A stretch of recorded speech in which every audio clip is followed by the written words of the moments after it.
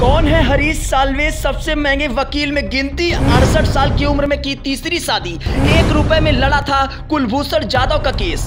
वो वकील जिसने पिता के पद चिन्हों पर चला, वकालत की एक नई लकीर खींची, अंबानी महिंद्रा टाटा के रह चुके हैं वकील।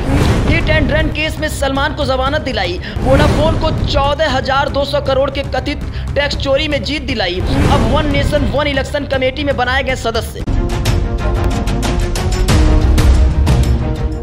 जी हाँ देश के सबसे महँगे वकील में शुमार और भारत के पूर्व सॉलिसिटर जनरल हरीश साल्वे ने अड़सठ साल की उम्र में तीसरी बार शादी की है।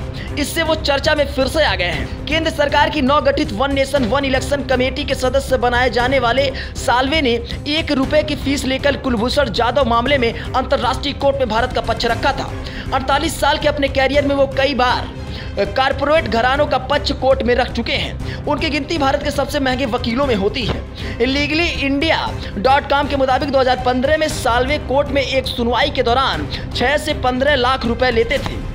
22 जुलाई 1955 को महाराष्ट्र में जन्मे सालवे मूल रूप से नागपुर के रहने वाले हैं। उनके दादा पी के सालवे भी दिग्गज क्रिमिनल लॉयर रह चुके हैं। उनके पिता एन के पी सालवे कांग्रेस के नेता और केंद्रीय मंत्री भी रह चुके हैं। साथ ही वो भारतीय क्रिकेट बोर्ड के अध्यक्ष भी थे। उनकी माता अमृति सालवे एक डॉक्टर थे। हरीश सालवे बचपन से इंजीनियर बनना चाहते थे, लेकिन कॉलेज तक आते आते उनका रुझान चार्टेड अकाउंटेंट यानी सीए की ओर बढ़ा। किताब लीगल ईगल्स में बताया गया है कि सीए की परीक्षा में वो दो बार फेल हुए।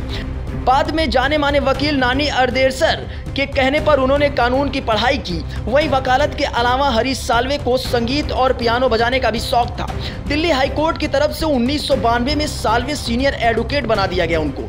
इसके बाद उन्होंने अंबानी, महिंद्रा और टाटा जैसे बड़े कारपोरेट घरानों की कोर्ट में नुमाइंदगी भी की। लेकिन सालवे को लगभग अजय तब माना गया जब उन्होंने वोडाफोन को चौदह हज़ार दो सौ करोड़ की कथित टैक्स चोरी के केस को जीत दिलाई। लगभग साल 2015 में हिट एंड रन केस मामले में सलमान खान को कोर्ट ने पाँच साल की सजा सुनाई थी।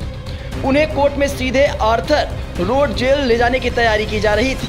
इसी बीच एक बदलाव करते हुए हरीश सालवे ने कोर्ट में सलमान का पक्ष रखा और उन्हें जमानत दिला दी। कुलभूषण जाधव को अप्रैल 2017 में जासूसी और आतंकवाद के आरोप में पाकिस्तान के एक सैन्य अदालत में मौत की सजा सुनाई गई थी। उसके बाद भारत ने कड़ी प्रतिक्रिया व्यक्त करते हुए अंतर्राष्ट्रीय कोर्ट का रुख किया। अंतर्राष्ट्रीय कोर्ट में करीब दो साल की लड़ाई के बाद इस मामले में आखिरकार सुनवाई की गई और इसी साल 18 से 21 फरवरी तक हुई थी। जादव का केस हरीश सालवे ने ही लड़ा था। इसके लिए हरीश सालवे ने भारत सरकार से सिर्फ़ एक रुपए की फ़ीस ली थी।